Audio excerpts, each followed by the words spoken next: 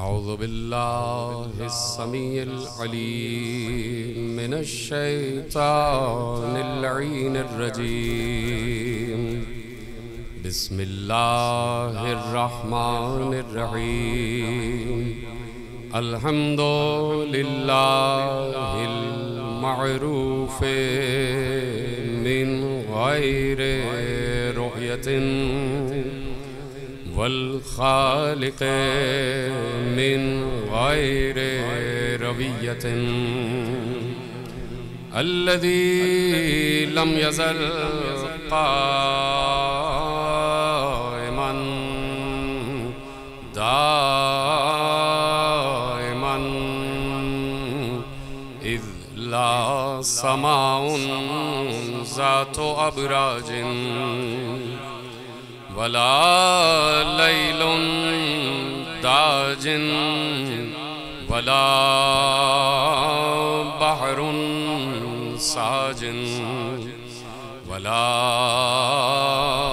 अर्जुन जातु मेहादिन वला खलकुन जू मार वसलात वसलाम वतहैत वल इकराम अला नबी रहमते व खाजिन मगफिरते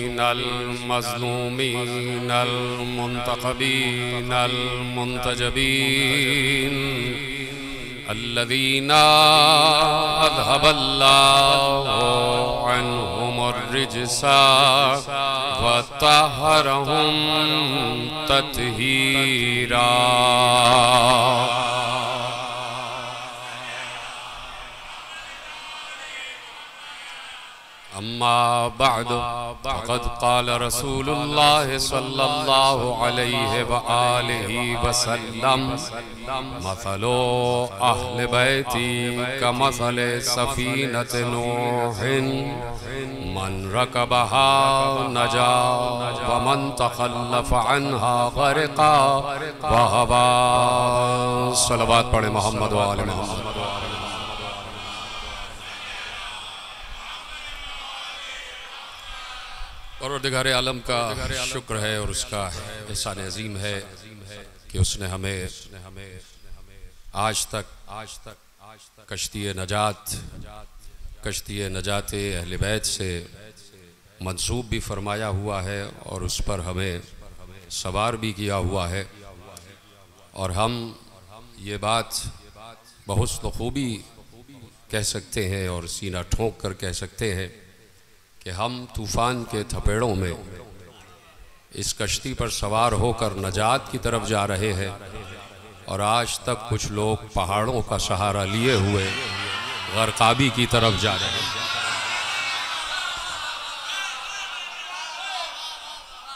मुसलसल ये आवाज़ें आ रही हैं, चौदह सौ बरस से कि मसलो, अहल बैती का मसल सफ़ीनत नूह। हमारे अहल बैत की मिसाल, सफ़ीना नूह की मिसाल, मुसलसल, ये हदीस, तारीख की तफसीर की, सीरत की हर किताब में जगमगा रही लेकिन बात यह है कि जैसा कि मैंने अर्ज़ किया कि कुछ लोग आज तक सफ़ीना नजात अहल बैत को छोड़कर नूह के नाखलफ पिसर की तरह ये समझते हैं कि सफीने से अलग हट कर नजात मिल जाएगी। और इसी की तरफ़ हम 1400 बरस से उम्मत को तवज्जो दिला रहे हैं कि जब कह दिया कि मेरे अहल बैत की मिसाल, सफीना नूह की मिसाल है तो मैं इशारतन एक बात अर्ज़ करता हुआ आगे बढ़ता हूँ। और ये हदीस बड़ी मशहूर है और मुतफ़ हदीस है। यानी हर शिया सुन्नी मसलक के लिखने वाले ने इसको लिखा है कि मेरे अहले बैत की मिसाल सफीने नूह की मिसाल कि जो इस सफीने में दाखिल हो गया, वो नजात पा गया और जिसने इस सफीने से रूगर्दानी की, वो गर्क भी हो गया और हलाक भी हो गया। तो अब सिर्फ़ पूछना यह है कि सफीना नूह दुनिया की निगाह में है। अब मुझे नहीं पता कि ये मेरा इशारा समझा जाएगा या नहीं। सफीना नूह दुनिया की निगाह में है। सफीना नूह पर अस्सी या नब्बे अफराद सवार हुए। वो के जो नूह की तबलीग से मुरस्सा हुए, हिदायत याफ्ता हुए, और नूह ने उन्हें सफीने पर सवार कराया। तो अब जितने भी सफीने में सवार हुए, वो सब के सब नजात याफ्ता। तो कहीं आपने ये नहीं देखा होगा कि सफीने में जो लोग सवार हैं, वो आपस में लड़े हो। और आपस में उन्होंने एक दूसरे से जंग की हो। मुझे नहीं पता मेरी बात पहुँची या नहीं पहुँची। अब यहीं से अहले बैत का तयन भी हो जाता है कि अहले बैत हैं कौन? अगर चादर में आने वाले अहले बैत हैं, और यकीनन चादर में आने वाले अहले बैत हैं, उनमें मोहम्मद भी हैं, अली भी हैं, फातिमा भी हैं, हसन भी हैं, हुसैन भी हैं, ये पाँचों अहले बैत रसूल हैं, और यही पाँचों कश्ती नजात भी हैं। तो अब जो इनके मुकाबले पे आके लड़ना शुरू हो जाए, ना वो कल अहले बैत में माना जाएगा, ना आज अहले बैत। सलामत रहे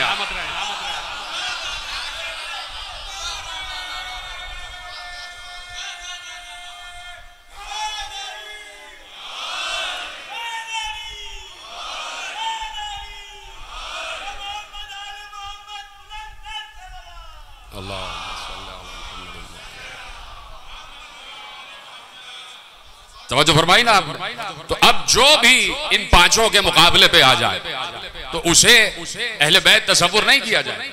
या तो दो ही तरीके हो सकते हैं। फिक्री है गुफ्तु आपके हवाले कर रहा हूँ, दो ही तरीके हो सकते हैं।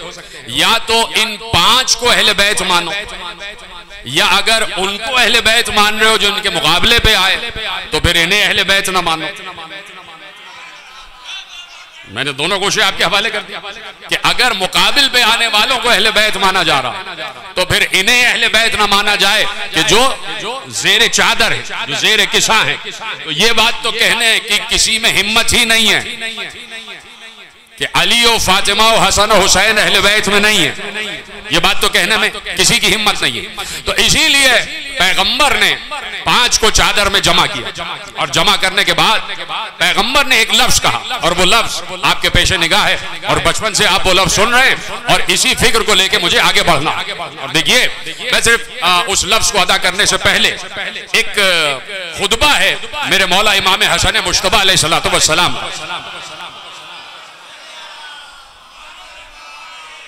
और इससे शजात हसनिया का अंदाज़ा करें कि मेरा मौला हसन कितना बड़ा सजा है।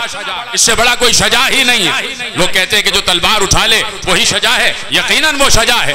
लेकिन बात यह है कि जो अपनी गुफ्तगु को तलवार बना दे, जो अपने अल्फाज को जुल्फकार बना दे, जो अपने लहजे की काट से सरों को काटना शुरू कर दे तो उससे बड़ा कौन सजा और कौन मुजाहिद होगा? जैसे ही ये सुलह के मामला हुए और मेरा मौला हसन दरबार में आया और शाम वाला मसनद पे बैठा हुआ है और इधर से मेरा मौला हसन दरबार में आए और इमाम हुसैन भी साथ है। ऐसे में बात करना शुरू की और मैं ये जुमला किसी मौके पर अर्ज़ कर चुका, दोहराना नहीं है, सिर्फ़ मंजर आपके हवाले करता हूँ कि एक बार हसन मुश्तबा को बुलाया ही इसलिए गया कि किसी तरीके से अहले बैत की तोहिन की जाए और बेटे के सामने बाप की तस्वीर की जाए। हसन मुश्तबा आके बैठ गए। हुसैन अली भी बैठे हुए हैं। और दरबार मुरस्सा है, दरबार सजा हुआ है। और ऐसे में एक शख्स खड़ा हुआ और उसने अली पर सबो शितम किया। दूसरा खड़ा हुआ, उसने अली को बुरा कहा। तीसरा खड़ा हुआ, उसने अली को बुरा कहा। जब सारों के सारों ने बात कर ली और सबने अली को नागवार बातें सुना दी तो एक बार हसन मुश्तबा ने कहा कि अब इजाज़त है कि मैं जवाब दूँ। देखिए, हुसैन हमने अली को इमाम हसन ने रोक दिया, इशारा कर दिया कि भाई आप बैठे रहिए। इमामत हसन का जमाना है। और अब दिखाना है हसन मुश्तबा को कि अगर मैं मैदान में नहीं आया और नहीं आ सका या नहीं आने दिया गया। सलामत रहे आप। अगर मैदान में नहीं आने दिया गया, तब भी दरबार में मैं बताऊँगा कि जिसकी तलवार जुल्फकार हो जब वो मैदान में जुल्फकार चलाता तो क्या हशर होता?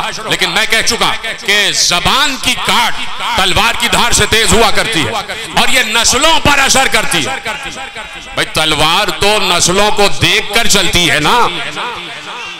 जुल्फकार तो नस्लों को देखकर चलती है, लेकिन हसन की तलवार जो अब चलने जा रही है, वो नस्लों को बर्बाद कर देगी, नस्लों को बर्बाद कर देगी।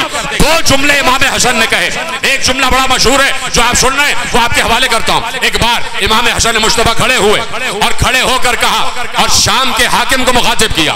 उनमें से किसी को इस काबिल समझा ही नहीं कि हसन फर्दन फर्दन जवाब देते। जीते रहे सलामत रहे। किसी को हसन मुश्तबा ने इस काबिल नहीं समझा कि फर्दन फर्दन सबको जवाब देते। हालाँकि सबके शजरों को खोला है, लेकिन सबसे पहला जुमला जो मेरे मौला हसन ने, देखिए ये है, और मैं यहीं से गुफ्तगु का आगाज़ कर रहा हूँ कि एक बार मेरे मौला हसन ने कहा कि मैं अलल एलान पूरे दरबार के सामने अपने बाप का शजरा आदम तक बताता हूँ।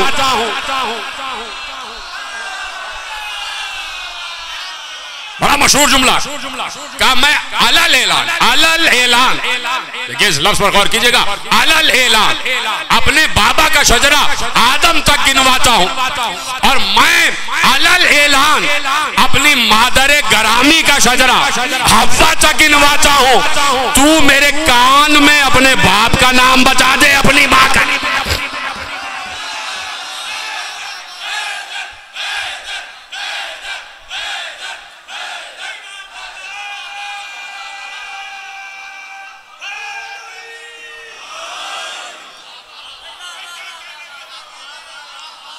ये तो हो गया ना एक जुमला। और ये पूरा खुतबा मैं किसी मंजिल पर रिजविया सोसाइटी में अर्ज़ कर चुका। एक एक का जवाब हसन मुश्तबा ने बाद में दिया। और किसी से ये कहा कि तू मेरे बाप की बात करता। सिर्फ़ एक झलक दिखा देता हूँ। कहा कि, ए फोला बिन फोला, ये फोला बिन जो हसन ने कह दिया, ये भी एहसान था। है है है ये सो हसन मुश्तबा ने इबने कह दिया, ये भी एहसान था। लेकिन जैसे ही कहा, अब यकीन हसन मुश्तबा ने कहा होगा तो जो मशहूर बात है वो कह दी, कि भाई ये मशहूर है फला बिन फला। सब इसको फला बिन फला से जानते लेकिन हसन मुश्तबा ने बताया ए फुला को इबने फुला कहने वालों, सुनो। एक बार हसन मुश्तबा ने उसे मुखातिब करके कहा ए फुला बिन फुला, तू मेरे बाबा के बारे में बात करता है, कि जब तू पैदा हुआ है तो छह लोगों ने दावा किया था किया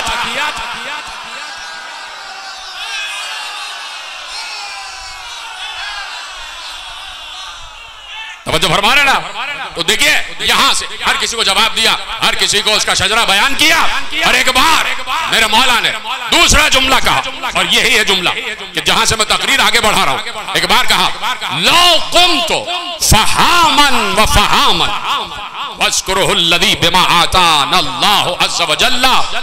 देखो, इमाम हसन मुश्तबा कह रहे हैं, और मैंने इस जुमले पर गौर किया, और आप भी इस जुमले पर गौर करेंगे, और यकीनन गौर फरमाइएगा, इसलिए कि जुमला बड़ा गहरा है। और मासूम कह रहे और मासूम कभी भी कोई जुमला महावरतन नहीं कहेगा। और ना उसमें मुबालगा होगा। जो जुमला मासूम कह रहे हैं, ना वो महावरतन होगा। कोई मुहावरा का सहारा लेकर मौला कोई जुमला कह रहे ये भी नहीं होगा कि मौला मुबालगा कर कभी भी नहीं। मौला जो बात कहेंगे, मासूम जो बात कहेगा, वो हकीकी बात होगी और उससे बड़ी कोई हकीकत नहीं हो सकती। है ना सब मेरे साथ? क्या कहा?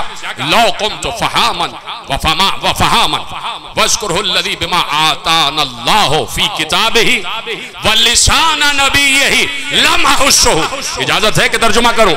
इमाम ने कहा कि मैं इसी मकाम पर बरस हाँ बरस, हज़ारों बरस खड़ा रहूँ। और वो फजाइल के जो अल्लाह ने हमारे बारे में, कुरान में और नबी की जबान से बयान फरमाए हैं, फिर भी खत्म नहीं हो सकते। जी जितने सलामत रहे मैं बरस हा बरस यहाँ खड़ा रहूँ। बरसों यहाँ खड़ा रहूँ। लौकुम तो मैं यहाँ खड़ा रहूँ। व फ़ामन मैं बरसों यहाँ खड़ा रहा। और वो फ़जाइल के जो अल्लाह ने किताब में हमारे लिए बयान किए और नबी की ज़बान से जो हमारे फ़जाइल अदा हुए हैं, तुम उसका एहसा नहीं कर सकते। वो फ़जाइल ख़त्म नहीं हो सकते। हमारे पास तो कुछ भी नहीं पहुँचा। देखिए उन फजाइल में से हमारे पास कुछ भी नहीं पहुँचा। जो है, वही पहाड़ वालों को हजम नहीं हो रहा। वही पहाड़ पे बुलंद होने वालों को हजम नहीं हो रहा। न मालूम बातिल को पहाड़ से इतनी दिलचस्पी क्यों है। या तो नू का बेटा था जिसने कहा, पहाड़ मुझे बचा लेगा। या बाद में ऐसे ही कुछ लोग थे। कि जिन्होंने ये समझा कि पहाड़ उन्हें बचा लेगा। तो फरमाइए तो अब अब वो फजाइल कि जो हम तक पहुँचे, वही लोगों को हजम नहीं हो रहा यही आगे बढ़ेगी बात और इसी पर मुझे बात आगे बढ़ाना और कल भी इंशाल्लाह तकरीर मेरे छोटे इमाम इमाम जाफ़र सादिक सलाम पर यहाँ बर्पा होगी। और कल ज्यारत ताबूत भी बरामद होगी तो बस चंद जुमले आपके हवाले करता हूँ। और ज़्यादा तवील जहमत मैं देना भी नहीं चाहता कि कह दिया कि हज़ारों बरस, बरसा बरस यहाँ खड़ा रहो। फिर भी हमारे फजाइल का इहाता नहीं हो सकता। एहसा नहीं हो सकता। एहसा नहीं हो सकता। सवाल पैदा हो जाता है कि वो फजाइल हैं कहा? और वो फजाइल कौन से है? और यकीनन कहीं ना कहीं दर्श थे। और होते रहे दर्ज। इसलिए मेरे पाँचवें इमाम इमाम मोहम्मद बाकर सलाम एक जामे जामिया की बुनियाद रखी, एक यूनिवर्सिटी की बुनियाद रखी। और जो हर साल सुनते हैं आते हैं और ये तकरीबन समझ लीजिए कोई अठारवा बरस है। इन मजालिस को बर्पा होते हुए कि 2000 छः में मेरे वालिद मोहतरम का इंतकाल हुआ और 2007 में मेरी वालदा मोहतरमा का इंतकाल हुआ तो उस वक्त से ही मजालिस अज़ा जारी और सारी है। और तकरीबन 18 बरस हो गए कि ये मजालिस इसी तरह हो रही हैं और हर साल कोई ना कोई मौजू इमाम के हवाले से डिस्कस होता रहता। है तो इन मजालिस में चाहता हूँ कोई फिक्री बातें अपने नौजवान दोस्तों का तक अर्ज़ कर दूँ। तो इसीलिए मैंने कहा कि वो फजाइल, जिनका अहाता ही मुमकिन नहीं। इसलिए मेरे पाँचवें इमाम ने जामिया की बुनियाद रखी। एक यूनिवर्सिटी की बुनियाद रखी। पाँचवें इमाम ने बुनियाद रखी और छठे इमाम ने उसे बामे उरूज तक पहुँचाया। बाप ने बुनियाद रखी और बेटे ने उसे आसमानों तक पहुँचा दिया। और यही वो मौका था कि जहाँ पर दुनिया को यह बताया जाए कि इल्म अहले बैत का है, इल्म अहले बैत का है, इखलाक अहले बैत का है, फलसफा अहले बैत का है, मंतिक अहले बैत की है इल्म कलाम बैत का है। इल्म बयान अहले बैच का है। इल्म कीमिया अहले बैच का है। इल्म तबीयात अहले बैच का है। इल्म अफलाक अहले बैच का है। इल्म अबदान अहले बैच का का ये सारे उलूम हमसे अगर हट गए तो नामुकम्मल रहेंगे। सुनने के लिए तैयार है ना सारे के सारे?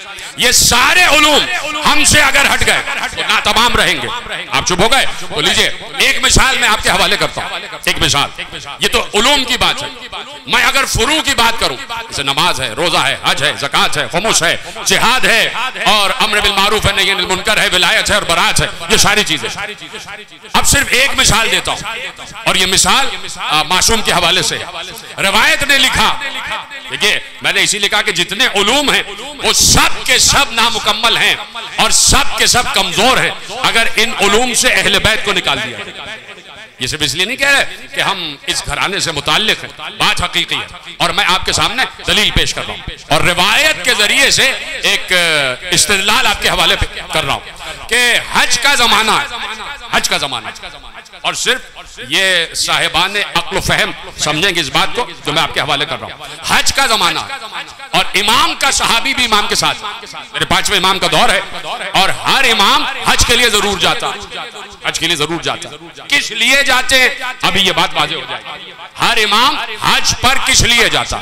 एक तो ये है कि उस वक्त तक किसी की नमाज़ अल्लाह के दरबार तक नहीं पहुँचती, जब तक मासूम की नमाज़ ना पहुँच जाए। जब तक मासूम की नमाज़ ना पहुँच जाए। चूँकि सबकी नमाजें रुकी हुई थी और मासूम की नमाज़ कदा हो गई। इसलिए सूरज को वापस पलटाना पड़ा। ताकि सबकी नमाजें वहाँ पहुँच जाए, जब तक मासूम की नहीं पहुंचेगी, सबकी रुकी रहेगी। रुकी रहेगी मैंने मिसाल दे दी। तो हज का जमाना। और ऐसे में मौला का एक चाहने वाला है, जो मौला के साथ और सदीर सैरफी, उसका नाम। वो कहता है कि मैंने अपने मौला को देखा। लोग खाने खुदा का तबाफ कर रहे सब है मेरे साथ।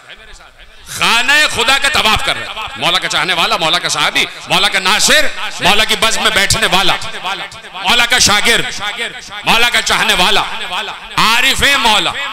वो कहते हैं कि हज का जमाना है और लोग तबाफ कर रहे हैं, बैतुल्लाह का तबाफ कर रहे हैं। अब वो कहता है कि मैंने अपने मौला को देखा, कि मेरे मौला भी उनको देख रहे हैं। नजरा इलन्ना काबा। ताकि मेरा मौला देख रहा था उन लोगों को कि जो काबे के गिर तवाफ कर रहे थे। काबे गिर तवाफ कर रहे थे। अब जुमला सुनेंगे अगला। बड़े जहीन लोग बैठे हुए और इशारों को समझने वाले। तमाम मोहतरम मेरे अहबाब काबिल कदर बैठे हुए। तो एक बार कहा कि नजरा इलन्ना से यतूफून हौल काबा। मेरे मौला ने देखा कि लोग काबे का तवाफ कर रहे और जब उनको देखा तो मौला मेरी तरफ़ मुखातिब हुए और कहा कि, हा कदा यतूफून फिल जाहिलिया। सदीर, ये लोग इसी तरह जाहिलियत के जमाने में भी तवाफ करते थे। ये तरह, सुनते रहे, बस बहुत मुख्तसर बात है, ज़्यादा तवील रहमत नहीं कहा कि हा कदा यतूफून फिल जाहिलिया।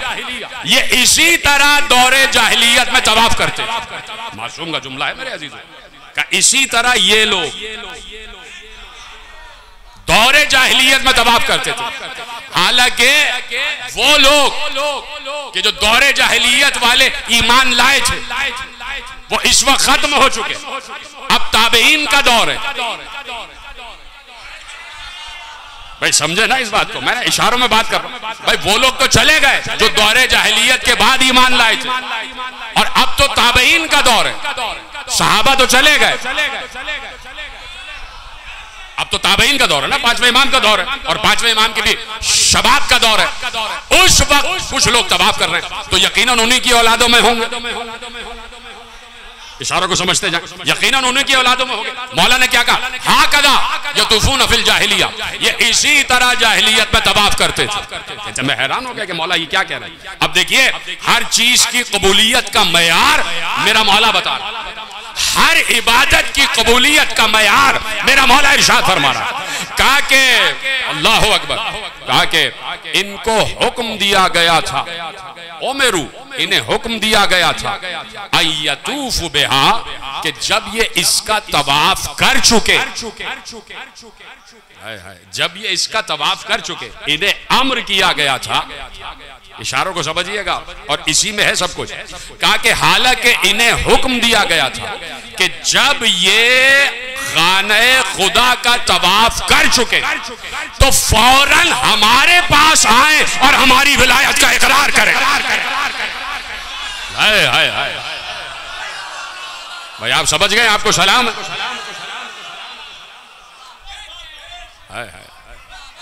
बेहा। बेहा। यन फिर इनको हुक्म दिया गया था कि जब तवाफ मुकम्मल हो जाए तो हमारे पास आओ। हमारे पास आओ। और अपनी विलायत को हमारे सामने पेश करो। और अपनी मवद्दत को साबित करो। और हमारी नुसरत का वादा करो। अब समझ में आया? मुश्किल तो नहीं है बात। ये तो मैंने हज की कबूलियत का मैार बताया। इसका मतलब है कि हर इबादत की कबूलियत का मैार यही है कि जैसे ही इबादत मुकम्मल हो जाए, जैसे ही इबादत के अरकान मुकम्मल हो जाएँ, फ़ौरन इकरार विलायत किया जाए। और अगर इकरार विलायत नहीं किया तो मौला यही कहेंगे कि जाहिलियत में भी ऐसे ही नमाजें पढ़ते थे, जाहिलियत में भी ऐसे ही यानी हर वो इबादत कि जिसमें अहल बैत की विलायत और मबद्दत शामिल ना हो, वो जाहिलियत वाली इबादत हो जाती है। वो जाहिलियत वाली इबादत हो जाती है। समझो फरमा लिया आपने? अब इससे भी आगे की बात करने करते जाओ एक बार मौला ने सदीर शैरफी की तरफ़ इशारा करके कहा कि फौरी का क्या मैं तुम्हें दिखाऊँ, बताऊँ नहीं? क्या मैं तुम्हें दिखाऊँ? पौरी का। क्या मैं तुम्हें दिखाऊँ? असादीना अंदीनिल्ला क्या मैं तुम्हें दिखाऊँ? वो लोग जो दीन खुदा में रुकावट बने हुए जो दीन खुदा में रुकावट बने हुए, जो दीन खुदा को आगे नहीं बढ़ने देते, जो अल्लाह के दीन को आगे नहीं बढ़ने देते। तो सदीर कहते हैं मैं मौला के चेहरे की तरफ़ देख रहा था। मौला ने क्या कहा? मैं तुम्हें दिखाता हूँ कि कौन लोग हैं जो दीन खुदा के आगे बढ़ने में रुकावट बने हुए। एक बार एक बार वो कहता है सदीर शरफी के, सुम्मा नजरा बहुत आसान अरबी है और मैं कोशिश करता हूँ कि तर्जुमे करने की मुझे ज़रूरत ना पड़े। देखिए, ठहर ठहर के पढ़ता हूँ। सोम्मा नजरा। इला अबी हनीफा व सुफियान सौरी। उसके बाद इमाम ने सुम्मा नजरा इला अबी हनीफा। इमाम ने उसके बाद अबू हनीफा को देखा और सुफियान सौरी को देखा। बात ही खत्म हो गई। जो मैं कहना चाहता था वो, मैं तो नहीं कह रहा हूँ, इमाम जो कहना चाहते उसके बाद इमाम ने इन दोनों की तरफ़ देखा और कहा हाँ उलाए ये है वो लोग जो दीन खुदा को आगे नहीं बढ़ने देते। ये सबको जुमले हैं, ये सबको अपने पास जमा कर लेते हैं, हमसे दो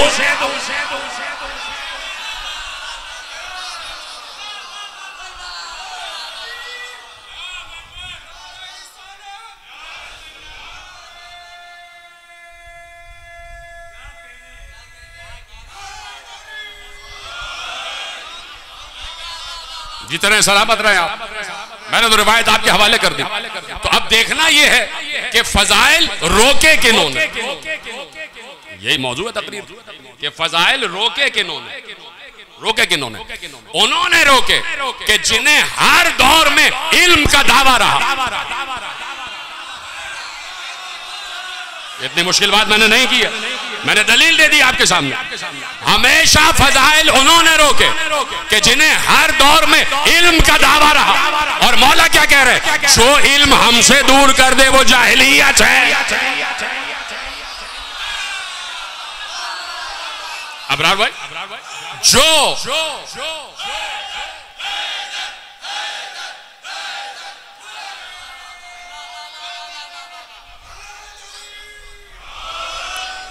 जो इल्म हमसे दूर कर दे, वो जाहिलियत ही जाहिलियत। ले जाइए, दूसरी हदीस ले जाइए। ये हदीस नबी सादिक से भी है और इमाम सादिक से भी ये हदीस जो पढ़ने जा रहा हूँ। ये नबी है सादिक से भी है इमाम सादिक से भी। देखिए एक वो अपनी जगह है। वो पूरा तारीखी माहौल अपनी जगह है। कि इमाम मोहम्मद बाकर इमाम जाफ़र सादिक ये दो इमाम कि जिन्होंने जामे की बुनियाद रखी। और इमाम सादिक के दस हज़ार शागिर ये सबको मालूम है कि वो जामिया इतनी आगे बढ़ी इतनी आगे बढ़ी कि एक वक्त वो आया कि दस हज़ार शागिर उस जामिया में आके पढ़ते थे। और बिल इतफाक जो रिवायत है वो पाँच हज़ार की है। हमारे यहाँ जो रिवायत है वो दस हज़ार की है। कि दस हज़ार शागिर, मेरे मौला सादिक के शागिर। और इतनी हदीसें इतनी हदीसें, नौजवानों के लिए अर्ज़ कर रहा हूँ, और नौजवान इस जुमले को महफूज करें। इतनी हदीसें इतनी हदीसें बयान की कि इमाम के शागिर्दों की एक तवील फहरिस्त तवील फहरिस्त कि जिसमें चार सौ वो शागिर्द हैं कि जिन्होंने, जिसमें से हर शागिर्द ने एक एक उसूल की किताब लिखी।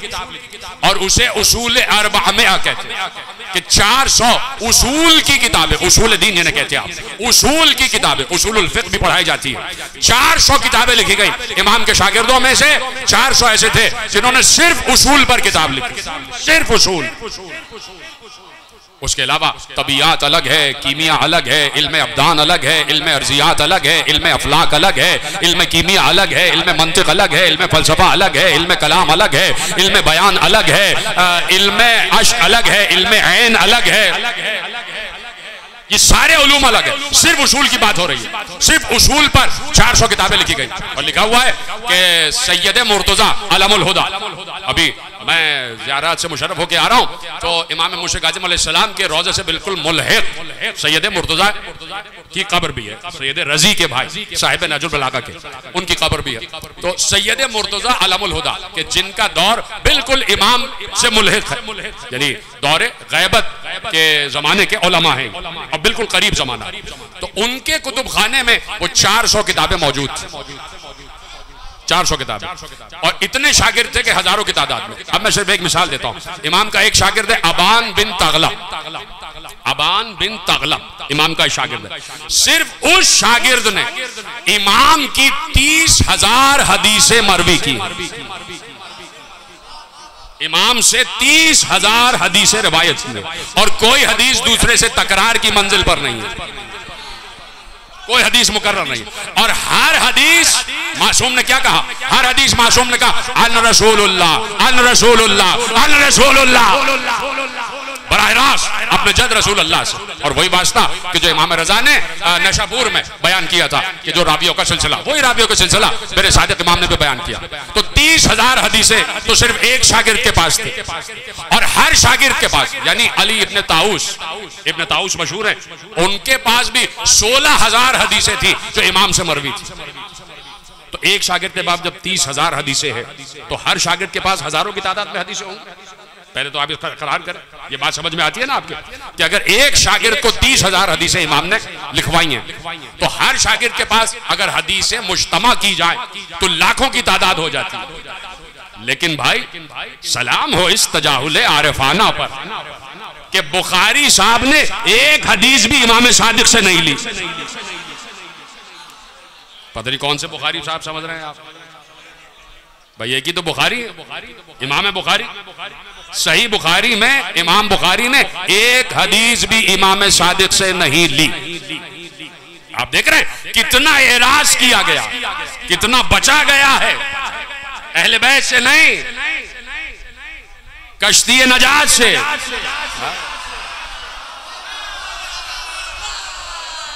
सलामत रहे आप। कितना एराज किया गया। कश्ती नजाज से कितना बच बच के चले हैं। इसीलिए तूफानों में घिरे हुए हैं। इसीलिए तूफानों में घिरे तो अब इतनी हदीसें इतनी हदीसें जो मौला ने लिखवा दी। अब उनमें उलूम के समंदर उलूम के समंदर थे। और सिर्फ़ सिर्फ़ एक जुमले के लिए मैं इतनी तैयारी कर रहा हूँ, ताकि वो जुमला आप तक सराहत के साथ और फोर्सफुली पहुँच जाए, बड़ी ताकत के साथ पहुँचे। ये पूरी तारीख आपके हवाले, और मैं मौजू पर इतनी हदीसें, सिर्फ़ जाबिर बिन यजीद जोफी जिन्होंने दोनों इमामों का दौर देखा। सत्तर हज़ार हदीसें अपनी शान में जाबिर बिन यजीद जोफी को लिखवाई। और वो अलग बात है कि जाबिर से कह दिया था कि इनका जो है, इनको अफशा न करना। किसी गैर मुतहमिल को ना बयान करना। किसी ऐसे को जो कमजर्फ हो, उसे बयान ना करना। और अगर सीना तंग, तंगी करे तो कुएँ में मुँह डाल के कुएँ से बयान कर दे कुएँ से हदीसें बयान कर देना। इसका क्या मतलब है? मौला ने इशारा दे दिया कि जिसका जर्फ कुएँ की तरह गहरा हो, उससे बयान करना। आ जाए इरफान हैदर रिजवी साहब। मौला सलामत रखे। पढ़ते मोहम्मद वाले मोहम्मद। खत्म हो रही है बात। नौखान तशरीफ़ ले आए, इरफान हजा साहब, और अभी नौखानी भी होगी तो बस चंद जुमले। तो है मेरी जाने। के इतनी हदीस जाबिर बिन यजीद जोफी के पास सत्तर हज़ार हदीस, और जो इमाम के शागिर चाहने वाले बैठे हुए चाहने वाले बैठे हुए देखिए, एक बात और अर्ज़ कर दू, कि बहुत से ऐसे नाम हैं, बहुत से ऐसे नाम हैं, कि जो हैं तो क्या कहूँ कि समझ लीजिए, हैं तो अहले सुन्नत। बहुत से ऐसे नाम अतिया कूफी भी है, अतिया रूफी भी है, सुफियान सौरी भी है, इब्राहिम इब्ने अधम भी है। बहुत से ऐसे नाम हैं जो आपको मिल जाएँगे। तारीख में मिलेंगे। तो हैं तो असल में वो चारों के मानने वाले। लेकिन उन्हें शिया करार दिया गया। शिया किस लिए करार दिया गया? क्या भाई शिया इसलिए करार दिया गया कि वो अली की ज़्यादा मदा करते। मानते उनको भी हैं। लेकिन अली की ज़्यादा मदा करते हैं तो ये शिया है। तो फिर उसके बाद कहा, नहीं भाई, ये शिया नहीं है, बल्कि ये अली को मानते हैं। ये अली की विलायत का, यानी कदीर का इकरार करते हैं। और ये अली के फजाइल का इकरार करते हैं। यानी इस तरीके से भी बहुत से लोगों को माइनस किया कि ये चूँकि शिया है, इससे हदीस नहीं दी जाएगी। मैं एक मिसाल दे दूँ। मसलन इमाम गजाली से एक मसले के बारे में फतवा पूछा गया। नमाज़ के किसी रुकन के बारे में। मसलन इमाम गजाली से पूछा गया कि ये बताइए कि सजदे में जब जाए तो आँख खुली रखें या बंद? अब फिक चल रही है फिक फिक चल रही है। और अब आप अपने आप पर गुरूर करें। अपने आप पर फख्र करें कि फिक को आगे बढ़ाने में हमारा कितना हाथ है। उनसे पूछा गया कि ये बताइए कि नमाज़ में सजदे के दौरान आँख खुली रखी जाए या बंद? उन्होंने कहा कि, अब फतवा देना उनको। और है वक्त के इमाम। इमाम फ़िक भी होंगे। रसूल की हदीसें भी उन्होंने पढ़ी होंगी। और आशार साहबा भी पढ़े होंगे। यकीनन सब कुछ पढ़ा होगा, तफसीर भी पढ़ी होगी, सब कुछ होगा ना भाई। फिक भी पढ़ी होगी, तभी तो इमाम है। और तभी तो लोग फतवा पूछने आए। तो अब आपको चाहिए क्या? आप रसूल से जो हदीसें आ रही हैं या रसूल से जो उसूल फिक आ रहे हैं, उसके मुताबिक फतवा दे। यही होना चाहिए ना। लेकिन उन्होंने कहा अच्छा ये बताओ, ये रावजी क्या करते? आँख खुली रखते हैं या बंद? अगर ये आँख खुली रखते हैं तो तुम बंद रखो। अगर ये बंद रखते हैं तो तुम खुली रखो। इस तरह फिक तरतीब पा रही है। इस तरह फिक तरतीब पा रही अब सुनेंगे? अगला जुमला सुनेंगे? उसने कहा कि भाई, ये कभी आँख बंद भी कर लेते हैं, खोल भी लेते हैं। तो उन्होंने कहा, तुम एक आँख बंद रखो, एक खुली रखो। ये फिक बन रही। ये दीन तरतीब पा रहा। ये शरीयत आगे बढ़ रही मुझे फरमा रहे तो अब बहुत से लोगों को इसलिए माइनस किया गया कि ये शिया है। और आज भी आज भी आप देख रहे हैं भाई ये शिया है, इसलिए इनको माइनस कर दिया जाए। शिया है। तो ये तो देखो किसके शिया है? चौथे खलीफा ही के तो शिया है। चौथे खलीफा ही के तो शिया है। खिलाफत राशिदा के तो मानने वाले हैं। खिलाफत राशिदा के तो मानने वाले चौथा खलीफा उसके शिया। तो बहुत से लोगों को माइनस कर दिया गया और बहुत से लोगों की हदीसों का भी इनकार किया गया। नहीं इससे हदीस नहीं ली जाएगी। नहीं इससे हदीस नहीं ली जाएगी। नहीं इससे हदीस नहीं ली जाएगी। किसी ने कहा कि भाई बात यह है कि इमाम बुखारी ने। बड़े काबिल कदर नाम है। हम बड़ा एहतराम करते हैं ओलमा का। चाहे वो आ, किसी भी मसलक से ताल्लुक रखते हैं ओलमा का हम एहतराम करते हैं। तो इमाम बुखारी के मुतालिक कहा गया कि भाई इन्होंने बहुत सी हदीसें ली नहीं जबकि सारी हदीसें उनके मैार के, उनकी शराय के मुताबिक पूरी उतर यानी उन्होंने जो हदीस का मैार और हदीस की शर्त करार दी है, उन शराय पर यह हदीस पूरी उतरती है। लेकिन उन्होंने रवायत नहीं दी। बहुत सी रवायत और उन तमाम रिवायतों को हाकिम नेशापुरी ने मुस्तदरक में जमा किया। किताब है मुस्तदरक सही यानी इमाम बुखारी, इमाम मुस्लिम ने जो हदीसें छोड़ दी और नहीं ली हालाँकि वो हदीसें बिल्कुल दुरुस्त है, बिल्कुल मुस्तनद है, बिल्कुल मुशक है। लेकिन इमाम मुस्लिम बुखारी ने नहीं ली। तो वो सारी हदीसें इमाम हाकिम नेशापुरी ने जमा की और कहा, ये बुखारी मुस्लिम के शराय पर पूरी उतरती हैं, लम युखर जाओ लेकिन उन्होंने उसको लिखा नहीं, उन्होंने इसको दर्ज नहीं किया। अब किसी ने पूछा कि इमाम बुखारी ने ये हदीसें क्यों नहीं लिखी? ये हदीसें क्यों छोड़ दी? का वजह सिर्फ़ ये है कि हदीसें छोड़ी ही इसलिए गई। एक बहुत बड़ा नाम है, इमाम अल जिंदी ये उन, उनकी बात मैं आपको बता रहा हूँ। ये मेरा अपना नाम अपनी मेरी तहकीक है और न मेरा अपना जुमला है। ये इमाम अल जिंदी बहुत बड़े आलिम अहले सुन्नत है, उनका जुमला है। जब उनसे पूछा गया कि इमाम बुखारी या मुस्लिम ने ये हदीसें क्यों छोड़ दी? क्यों नहीं दर्ज की? का सिर्फ़ एक वजह और कोई वजह नहीं। का क्या वजह है? का जिन हदीसों में अली की फजीलत साबित हो रही थी अली शेर खुदा के फजाइल। वो हदीस छोड़। देख रहे हैं आप कि कहाँ कहाँ कहाँ कहाँ छांटा गया, काटा गया। कहाँ कहाँ स्क्रूटनी की गई। कहाँ कहाँ मुस्तनद रिवायतों को मरदूद और गरीब करार दे दिया कहाँ कहाँ? तो अब ये सब पूरी तारीख आपके जहन में आ गई। हालाँकि तारीख कुछ भी नहीं है। ये पाँच मिनट में कौन सी तारीख बयान की जाएगी? ये तो बिल्कुल मैंने आपके सामने क्लम्सेस बयान की हाईलाइट्स बयान की हैं। और इससे आप पूरी तारीख का सफ़र अपने जहन में ले आए। कि कहाँ कहाँ, कैसे कैसे? और जब भी किसी को इल्म का दावा हुआ, उसने सबसे पहले ये चाहा कि मुश्तक लोग आए और मदीनतुल इल्म और बाब मदीनतुल इल्म तक न जाने पाए। इसलिए कि अगर बाब मदीनतुल इल्म तक पहुँचा दिया तो फिर मैं सिफर हो जाऊँगा। फिर मैं सिफर हो जाऊँगा, मैं ज़ीरो हो जाऊँगा। ठीक है? बात यहाँ तक आ गई? अब जुमला अर्ज़ करूँ? अपनी पूरी इस थेसिस की दलील मैंने कहा कि नबी सादिक से भी और इमाम सादिक से भी, दोनों से ये रिवायत और क्या रिवायत है? कि मासूमों ने इरशाद फरमाया खल अल्लाह इस मखलूक पर कभी अजाब नहीं करता, नहीं करेगा अजाब। इल्ला, सिवाय किस वजह से? सिवाय एक वजह से। सिवाय एक वजह से। मा युअज़्ज़िबुल्लाह हाजल खल अल्लाह इस मखलूक पर अजाब नहीं करता। सिर्फ़ एक वजह से। क्या वजह है? उलमा के गुनाहों की वजह से। अच्छा मैं भी चुप हो जाता हूँ, आप चुप। मैंने दो मासूम और सादिक हवाले आपके सामने पेश किए। अब आगे बढ़ती है बात। आप चुप हो गए? तो पहले मैं एक आयत आपके सामने पढ़ता और उसके बाद इस हदीस को मुकम्मल करूँगा। कि भाई, आयत है सूरह बकरा की। इन लदीन यक्तमूना मा अंजलना मिनल बय्यनात वल हुदा मिन बाद मा बय्यना हो लिन्नास फिल किताब। उलाइका यलअनहुमुल्लाह व यलअनहुमुल्लाइनून। हमने जो बातें अपनी किताब में खोल खोल कर और वाजे बयान कर दी हैं, जो लोग इन वाजे और खुली हुई बातों को छुपाते। तो ऐसे छुपाने वालों पर अल्लाह भी लानत करता है, लानत करने वाले भी लानत करते। अब लफ्ज है यकतुमून। कत्म। काफ ते मीम, कत्म, यानी छुपा देना। इस लफ्ज को याद रखिएगा। मा युअज़्ज़िबुल्लाहु हाज़ल खल्क़ इल्ला बिजुनूबिल उलमा। इस मखलूक पर अल्लाह अजाब नहीं करता, सिवाय एक बात के। और वो है उलमा के गुनाह। वो गुनाह क्या है? वो गुनाह क्या है? बड़ी आसान अरबी वो गुनाह क्या है? इल्ला बिजुनूबिल उलमा। अल्लदीना यक्तुमूना मिन फजल अली व इतरतिही। ये वो उलमा है कि जो अली के फजाइल छुपाते हैं।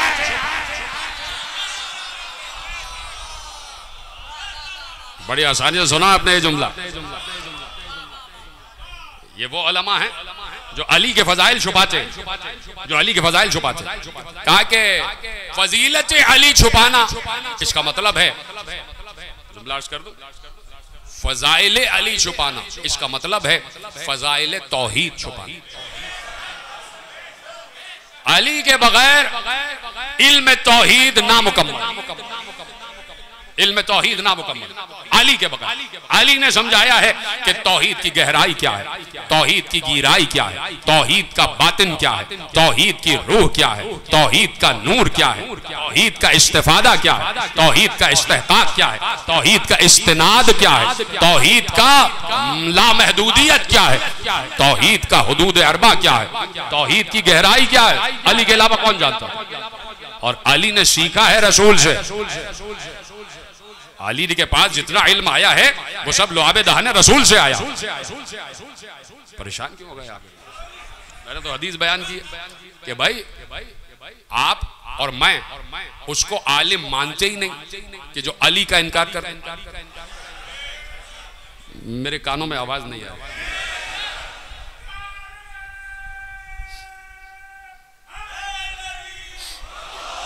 सलामत रहे। सलामत रहे तवज्जो फरमा ली ना आपने? तो अब एक लामहदूद समंदर है। ना पैदा कनार समंदर है। फजाइल अली का। ऐसा ही नहीं रसूल ने कह दिया था कि ये दुनिया के सारे दरख्त कलम बन जाएँ। सारे समंदर सियाही बन जाएँ। इंसान लिखने बैठे, जिन गिनने बैठे, फिर भी अली के फजाइल का अहाता नहीं, हो सकता। फिर भी अली के फजाइल का अहाता नहीं हो सकता। अब ये है अली। जुमला है और इसी पर तकरीर खात्मे पर पहुँच रही है। और ये किलीदी जुमला आपके हवाले कर रहा हूँ। ये है अली, जिसके फजाइल की कोई हद नहीं चार लोग बोलते हैं बेशक, ये आपके पास हद है अली के फजाइल की। भाई, आप मुझे अपने ईमान से बताइए। कितने पढ़े लिखे हजरात बैठे हैं सबका। मैं फर्दन फर्दन बानी मजलिस होने के नाते सबका शुक्रिया अदा करता हूँ और सबके लिए महव दुआ हूँ कि भाई, आप अपने ईमान से बताइए। बशमूल मेरे, मैं खुद से भी सवाल कर रहा हूँ कि जब भी किसी नई मजलिस में आते चलिए मैं दूसरे रुख से आता हूँ। मैं अभी बूतराब में मजालिस, मजलिस पढ़ रहा था। मोहतरम तशी फरमाए। तो मैंने वहाँ एक जुमला कहा था। और जुमला ये था कि सूर रहमान में अल्लाह कह रहा है, कुल्ला यौमिन होवा शान। उसका तर्जुमा क्या है? अल्लाह की हर रोज एक नई शान।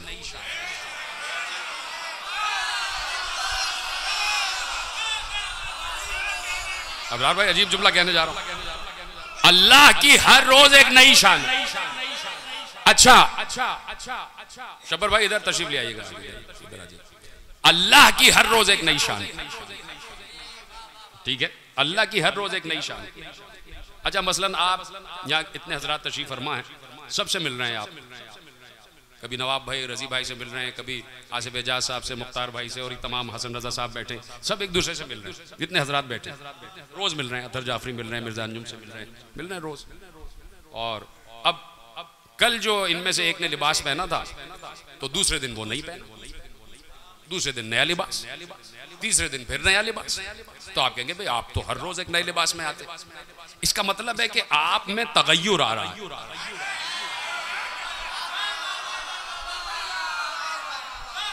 नवाब भाई, इसका मतलब है आप में तगैर आ रहा है। यानी आप में तब्दीली आ रही है। एक लिबास पहना तो दूसरा नहीं पहना, दूसरा पहना तो फिर तीसरा नहीं पहना। हर रोज एक नया लिबास, हर रोज एक नई तरीके से आप आ रहे हैं। तो अब ये तगैर आ रहा है, तबद्दुल आ रहा है।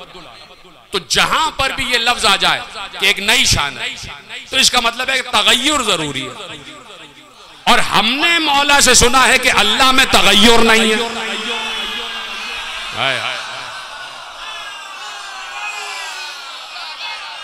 हमने रसूल से सुना है कि अल्लाह क्या तगैर नहीं है?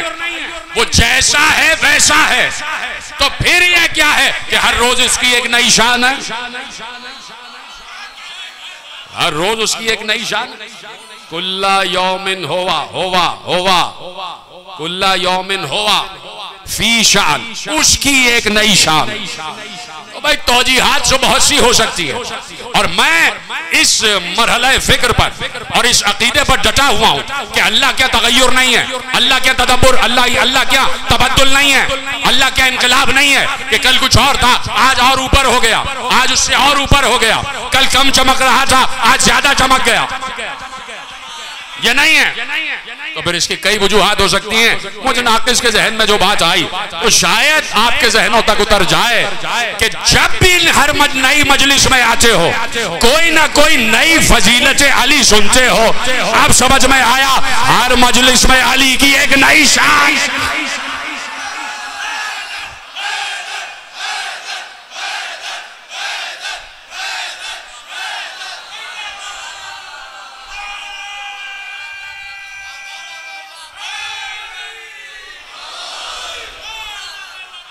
हमारा तो कम अज कम हमारा तो वही अकीदा है। तो सोहेल शाह साहब ने कहा कि भाई, अली की फजीलत में हम इंतहा पसंद वैसे हमें इंतहा पसंद नहीं है। हमें इंतहा पसंद नहीं है। लेकिन अली की फजीलत में हम इंतहा पसंद समझो फरमा रहे ना? तो अब इतने अली के फजाइल। और खत्म हो रही है बात। वाहिद अली, कि जिसने मिंबर पर बैठ के सलूनी कहा। सलूनी का। अभी मैंने पूरी तकरीर मस्जिद कोफा में, लफ्ज सलूनी ही पे की जब मैं गया था। तो वहाँ मस्जिद कोफा में सलूनी, इसलिए कि मिंबर सलूनी रखा हुआ है। और वहीं बैठ के हमने कहा कि हम भी ये तस्वुर करते हैं कि सामने अली बैठे हैं और हम सुन रहे हैं सलूनी। तो अली ने कहा सलूनी, और अली पर लफ्ज सलूनी जचा। अली पर लफ्ज सलूनी सूट करता। जचता अली ने कहा, सलून। और किसान से अली मिंबर पे बैठे होंगे। जबरूत इलाही मिंबर पे है। मलकूत का मालिक मिंबर पे नहीं, अल्लाह का शेर मिंबर पे है। मदीना इल्म का बाब मिंबर पे मदीना इल्म का बाब मिंबर पे है। उम्मत का बाप मिंबर पे है। किस शान से अली बैठे हों वो अलग बात है कि अली जब मिंबर कुफा पर बैठे थे तो शान इलाही ज़ाहिर हो रही थी। शान तौहीद ज़ाहिर हो रही थी। लेकिन वो अलग बात है कि अली बैठे हैं तो कपड़े में पेवंद लगे हुए हैं। अली के लिबास में पेवंद है। और अली ने शान से पेवंद लगाए अपने कपड़ों में। अली ने बड़ी शान से, अलग मौजू है। तो अली मिंबर में बैठे, और सलूनी, और कयामत तक अली की आवाज़ जा रही अली ने कह दिया कि मशरक मगरब का इल्म मेरे पास शुमाल और जुनूब का इल्म मेरे पास ज़मीन का इल्म मेरे पास सरा का इल्म मेरे पास सुरैया का इल्म मेरे पास आसमानों का इल्म मेरे पास ज़मीनों का इल्म मेरे पास तबकात का इल्म मेरे पास जर्रात का इल्म मेरे पास हवा का इल्म मेरे पास फजा का इल्म मेरे पास गला का इल्म मेरे पास लौह का इल्म मेरे पास कलम का इल्म मेरे पास अर्श का इल्म मेरे पास कुर्सी का इल्म मेरे पास फरिश्तों का इल्म मेरे पास मलाइका का इल्म मेरे पास अंबिया का इल्म मेरे पास औसिया का इल्म मेरे पास औलिया का इल्म मेरे पास सालहीन का इल्म मेरे पास शहदा का इल्म मेरे पास सिद्दीकीन का इल्म मेरे पास इंसानों का इल्म मेरे पास जिन्नात का इल्म मेरे पास परिंदों का इल्म मेरे पास हैवानात का इल्म मेरे पास शजरों का इल्म मेरे पास शजर का इल्म मेरे पास हजर का इल्म मेरे पास जबल का इल्म मेरे पास चट्टान का इल्म मेरे पास पहाड़ का इल्म मेरे पास दरिया का इल्म मेरे पास समंदर का इल्म मेरे पास शजरों का इल्म मेरे पास सनद का इल्म मेरे पास हसब का इल्म मेरे पास नसब का इल्म मेरे पास कितना इल्म है अली का? कितना इल्म है अली का? खुदा की कसम, अहले सुन्नत का एक बहुत बड़ा आलिम है। याहिया इब्ने मोइन अब उसका जुमला आपके हवाले कर रहा हूँ याहिया इब्ने मोइन बुखारी का भी उस्ताद है और मुस्लिम का भी उस्ताद है। इमाम बुखारी का उस्ताद, इमाम मुस्लिम का उस्ताद। याहिया बिन मोहिन एक बार वो याहिया बिन मोहिन कहता है कि मैं मक्के में था, मैंने कोहे अबू कुबैस पर जाफ़र सादिक को बुलंद देखा और जाफ़र सादिक कह रहे थे, सलोनी सलोने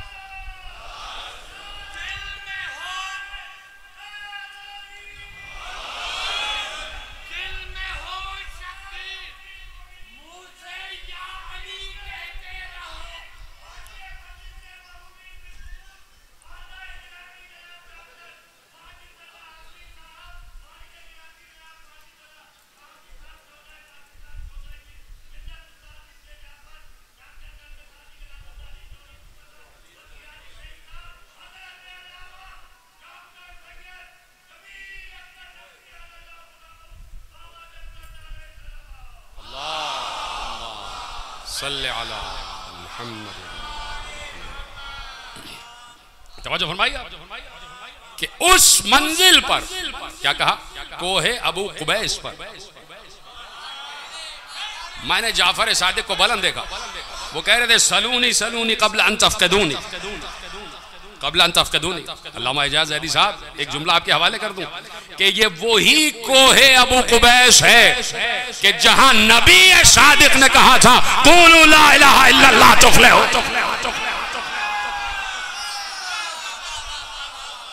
जहाँ नबी सादिक ने कहा था, कूलू ला इलाहा इल्लल्लाह तुफलिहू, कहो, अल्लाह के अलावा कोई माबूद नहीं है, फलाह पा जाओगे, फलाह पा जाओगे। तो या तो इस घराने के नबियों पर यह जुमला जचा है, या इस घराने के इमामों पर, इस घराने के वलियों पर। तो देखिए, खत्म हो गई गुफ्तगु, कुरान ने। अब ये जितनी भी तारीख इमामत आप देख लें कि एक से लेके ग्यारह तक। यानी सबको शहादत मिली है, सबको। सब। यानी उम्मत से इनका वजूद बर्दाश्त नहीं उम्मत ही तो कहेंगे ना। बनो उमैया भी उम्मत है, बनो अब्बास भी उम्मत है। वजूद बर्दाश्त नहीं हुआ। वजह क्या है? वजह यह है, कुरान ने वजह बयान कर कुरान ने कहा, हम फजले फकद आतैना आल इब्राहीम किताब वल हिकमत व आतैनाहुम हमने आल इब्राहिम को किताब भी दे दी, हिकमत भी दे दी, मुल्क अजीम भी दे दी तो तुम कब तक हसद करो कब तक हसद करोगे? तो देखिए ये हसद है। और अगर आज अहल बैत के चाहने वाले कहीं मसाइब का शिकार है कहीं कत्ल का शिकार है तो ये भी हसद है। ये भी हसद है। वो सब यही देखते हैं कि इल्म है तो इनके पास। इल्म है तो इनके पास। इस्तेकामत है तो इनके पास। ये बुनियानो मरसूस रहते हैं। शीशा पिलाई हुई दीवार की तरह। ना ये कल अली अली से हटे ना ये आज और ना कयामत तक। इसीलिए आयम्मा से भी हसद होता रहा। कि इल्म है तो इनके पास। भरे दरबार में इमाम तशरीफ़ फरमा मंसूर मलाउन ने पूछा, बैठा हुआ है, मक्खी आ रही है, और उसको परेशान कर रही है। बार बार हट, बार बार हटाता फिर आ जाती है। तो इमाम से पूछता है, आपके अल्लाह ने इस मक्खी को क्यों खल किया? तो जिसे मक्खी की तखलीक का सबब ना मालूम। उसे अपना शजरा भी नहीं मालूम। यानी उसे अपना सबब भी नहीं मालूम। अपना सबब भी नहीं मालूम। उसे अपना सबब भी नहीं मालूम। तो कहा कि आपके अल्लाह ने यह मक्खी क्यों खल की? यहीं से ऐलान हो गया कि अगर अल्लाह है तो इन्हीं का है। अल्लाह पे यकीन ही नहीं है। यानी तो खुद भी कहता था कि हमारे अल्लाह आपके अल्लाह ने। तो कहा कि भाई इसकी बहुत सी वजूहत है, एक वजह तो यही है। कि हर मगरूर और मुतकबर बादशाह को, कि गुरूर को अल्लाह खाक में मिलाता है इस छोटी सी मखलूक भरे दरबार भरे दरबार तो हर इमाम ने भरे दरबार में टोका है, भरे दरबार में टोका है। पैंसठ बरस की उम्र मेरे छठे इमाम की। जब पैगंबर इस दुनिया से गए, तिरसठ बरस। सबसे ज़्यादा उम्र मेरे छठे इमाम की, पैंसठ बरस। और सबसे ज़्यादा तबलीग और आहिया अहल बैत, मेरे छठे इमाम किया इसीलिए दुश्मन रहा जमाना कि ये मदीनत का दरवाज़ा दोबारा खुल गया। दोबारा खुल गया। कई मरतबा मैं अपने नौजवानों के लिए अर्ज़ कर रहा हूँ, कई मरतबा जहर देने की भी कोशिश की गई। और एक मरतबा तो भरे दरबार में इस मंसूर ने तलवार उठाई कि अपनी तलवार से कत्ल कर देगा। लेकिन सामने रसूल अल्लाह आके खड़े हो गए। खबरदार, मैं हूँ इसका मुहाफिज। और उसी वक्त लरजने लगा। एक मरतबा और ऐसे ही वाक़ हुआ।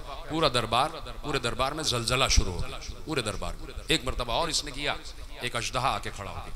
तो इमाम के लिए ये मौजूद है लिखा हुआ कि इमाम जब चाहता है और अल्लाह की मर्ज़ी होती है कि आ जाओ, अल्लाह मिलना चाह रहा अगर आवाज़ ना आती, कौन सी आवाज़? या अयत नफ्सुल मुतमइन्ना अगर अल्लाह ना कहता कि हुसैन आ जा, हुसैन आ जा तो हुसैन की तलवार रुकती नहीं, हुसैन की तलवार ना रुकती। अल्लाह ने कहा, हुसैन, आ जाओ, मैं तुमसे मिलना चाह रहा हूँ। तो यही आवाज़ हर मासूम को आती है, आ जाओ, मेरे पास आ जाओ। तो सबब कुछ भी बन जाता है। हुसैन ने एक बार तलवार को न्याम में रख लिया। हुसैन को मालूम था अब क्या होने वाला है। हुसैन को मालूम था अब क्या होने वाला है। ये मैं बताऊँ कि मैं कहाँ से पढ़ रहा हूँ कि मेरा मौला सादिक खुद अपनी मजलिस में बयान कर रहा था। मेरे मौला सादिक ने अपने बाबा मोहम्मद बाकर से सुना। मोहम्मद बाकर तो खुद गवाह है ना, पाँच बरस के हैं। जैनुल आबदीन जब वापस आए तो जैनुल आबदीन ने भी मसाइब करबला बयान किए। इसी तरह हर दौर के इमाम ने मसाइब करबला बयान किए। इमाम जाफ़र सादिक मजलिस की बुनियाद रखते थे। इस मजलिस में जैसे हम बैठे इसकी बाकायदा बुनियाद मेरे छठे इमाम ने रखी है कि इसी तरह ज़िक्र होगा। बैठ जाते थे, शायर आ गया, मौला ने कहा है फुला, कुछ कह के लाए हो। कुछ मरसिया कहा है मेरे जद हुसैन के उसने कहा, मौला मरसिया कहा है, ताज़ा मरसिया कहा है। का सुनाओ। ज़मीन पे बैठ के सुनाने लगा इमाम ने कहा, मिंबर पे जाओ। तो मौला आप नीचे बैठे हैं, मैं मिंबर पे आ जाऊँ। कहा, ये ज़िक्र इतना बुलंद है सैयदुलशहदा का कि मैं इमाम वक्त होते हुए नीचे बैठा हूँ और जाकिर मिंबर पे जा रहा है। जाकिर ने मसायब मसायब मसायब कौन कौन से मसायब पढ़े होंगे? तो यकीनन मेरे मौला सादिक से सुना तो होगा ना? तो मेरा मौला सादिक ही बयान कर रहा था। करबला के गवाह से सुन के बयान कर रहा है। और हर दौर का इमाम एनुल्ला होता है। सब इमाम साहिबुलसर व जमान है। उनके सामने कोई ज़माना माजी नहीं होता। तो मैं क्यों ना कह दूँ कि जाफ़र सादिक देख रहे थे करबला। मेरा मौला सादिक करबला देख रहा था। देख कर बयान करना और है सुनकर बयान करना और है। हम तो कहीं से पढ़ के बयान कर देते हैं, लेकिन मेरा मौला सादिक देख रहा था कि एक बूढ़ा बाप है, जवान की मैयत पे जा रहा है। और उस अंदाज से जा रहा है कि कोहनियों और घुटनियों के बल चलता हुआ जा रहा है। अभी मेरे जहन में मकाम अली अकबर आ गया है कि जहाँ मैंने मसाए पढ़े तो तुम्हारे हवाले कर देता हूँ, शायद इसी जुमले पे तकरीर तमाम हो जाए कि अली अकबर का घोड़े से गिरना कयामत था। सिर्फ़ हुसैन के लिए नहीं, बल्कि सैनब के लिए भी, उम्मे लैला के लिए भी। इसलिए कि जवान आवाज़ दे रहा है, बाबा! ये नहीं कहा कि बाबा मदद करो का बाबा, आप पर आखिरी सलाम। बाबा, मैं घोड़े से गिर गया। हुसैन कमर थाम के चले और सिर्फ़ ये कहते हुए चले, अली अकबर, देखो हुसैन, मैं कह रहा हूँ, हुसैन ने महावरता नहीं कहा। हुसैन ने मुबालगा नहीं किया। हुसैन के इस जुमले के दर्द को समझो। एक बार हुसैन ने कहा, अली अकबर, मुझे कुछ नज़र नहीं आ रहा।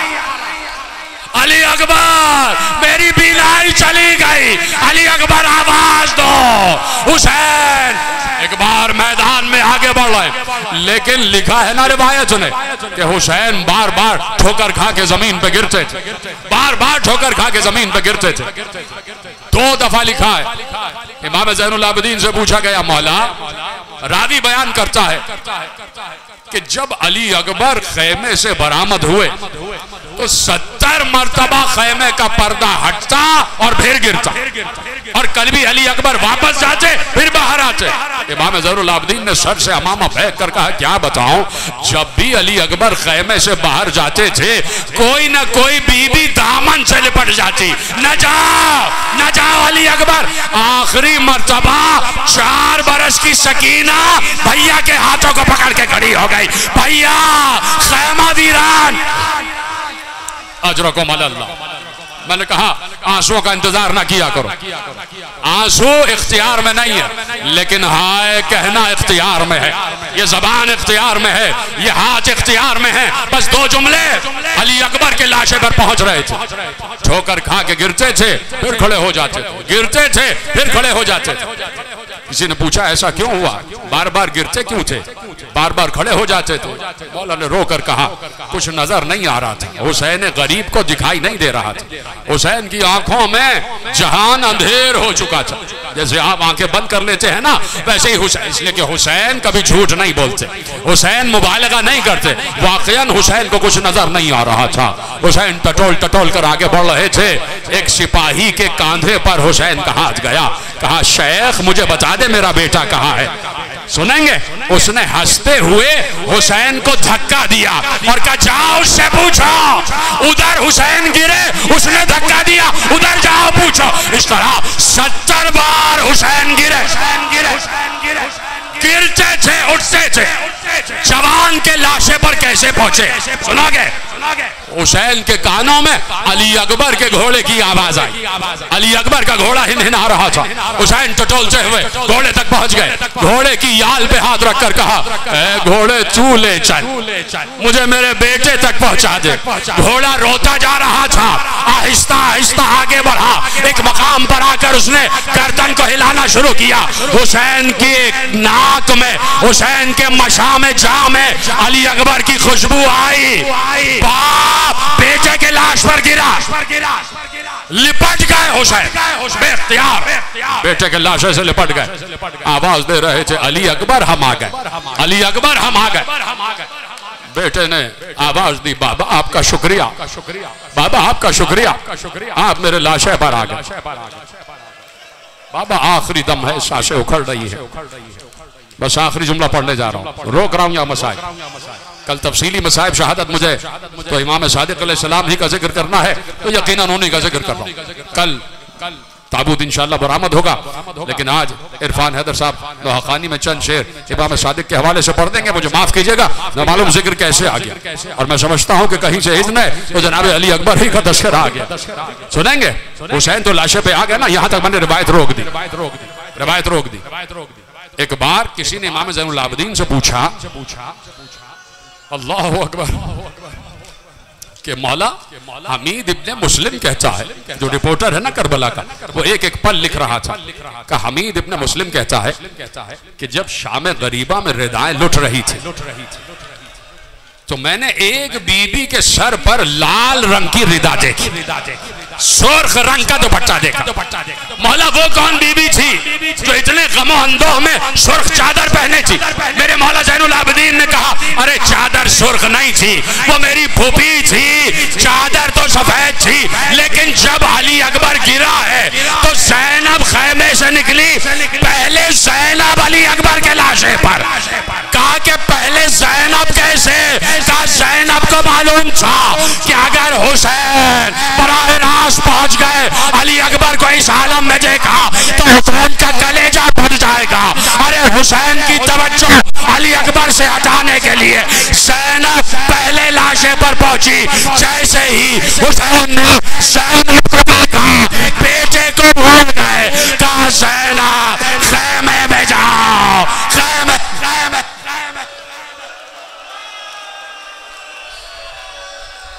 मातम हुसैन